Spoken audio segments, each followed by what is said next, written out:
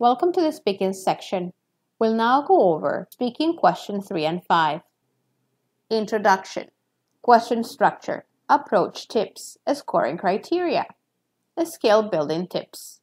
Here we're going to look at how the questions are structured and what they're asking, how to approach the questions, how your responses are scored, and we'll give you some tips for improving your speaking skills. Question 3. Read a passage. Listen to a response. 30 seconds to prepare. 60 seconds to speak. Here's generally what the question will look like and how they are structured.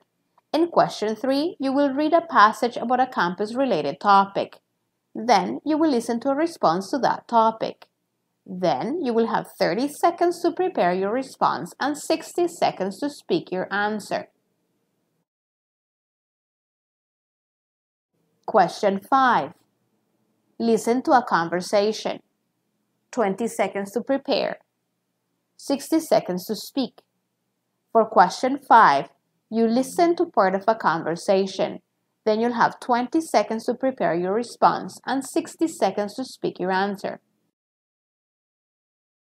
Now let's look more closely at what these campus situation questions look like and what they will be asking you to do.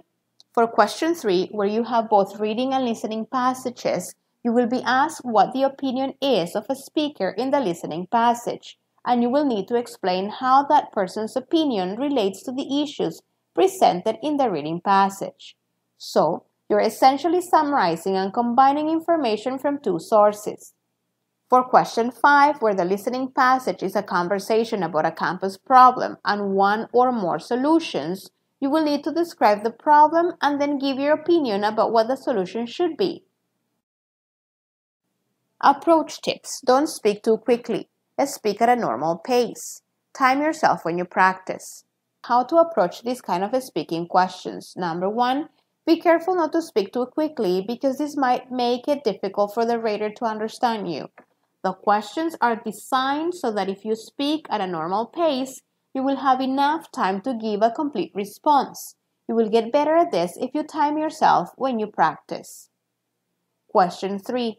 Listen carefully to the speaker's reason for agreeing or disagreeing with points made in the reading. Make sure you summarize the opinion of the speaker.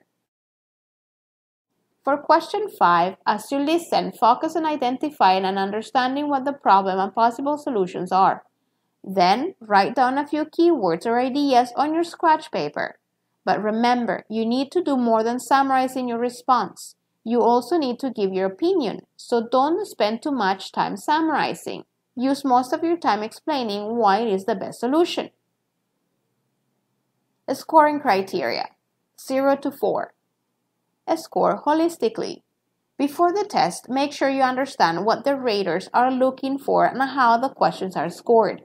In the speaking section, all six responses are scored on a scale from 0 to 4, and they are scored holistically, which means that the rater listens for various features in your response and then give it an overall score. Delivery Clear and fluid speech, good pronunciation, natural pace, Good intonation. Language use.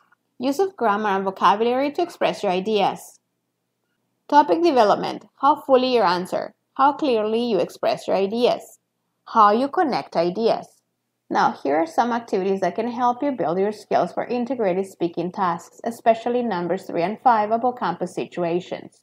Find an online newspaper from an English speaking university. Look for topics about campus life. Choose an article to discuss with a partner. Record yourself and listen to how you speak. Listen to hear your mistakes as well as your tone and pacing. Find listening and reading material on the same topic. Outline a one minute response, including your opinion and supporting points. Practice improving your fluency. Try to smooth out your phrasing, use different wording, avoid pauses, use transition words, and so on.